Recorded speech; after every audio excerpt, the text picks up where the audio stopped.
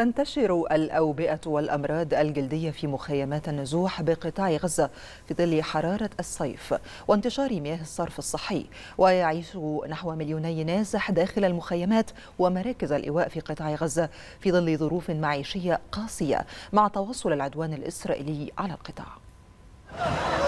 في وقت يكافح فيه النظام الصحي الفلسطيني لتوفير رعاية صحية محدودة في غزة تم الكشف عن انتشار ملحوظ لفيروس شلل الأطفال شديد العدوى في القطاع. منظمة الصحة العالمية التابعة للأمم المتحدة حذرت من اكتشاف الفيروس في العينات البيئية في مخيمات الخيام الفلسطينية بسبب استخدام المياه غير النظيفة. السلطات الصحية الفلسطينية أكدت أن هذا الاكتشاف في مياه الصرف الصحي التي تجري بين خيام النازحين في القطاع القطاع ينذر بكارثة صحية حقيقية ويعرض آلاف السكان لخطر الإصابة بهذا المرض. وبعد مرور نحو عشرة أشهر من الحرب في قطاع غزة توقفت مضخات مياه الصرف الصحي في دير البلح وسط القطاع عن العمل بسبب نقص الوقود وفق بلدية غزة. وتشكل مياه الصرف الصحي الراكدة وأكوام القمامة والأنقاض بيئة مواتية لانتشار أوبئة مختلفة بحسب ما قالت السلطات الصحية في غزة داعية إلى وقف فوري للعدوان الإسرائيلي.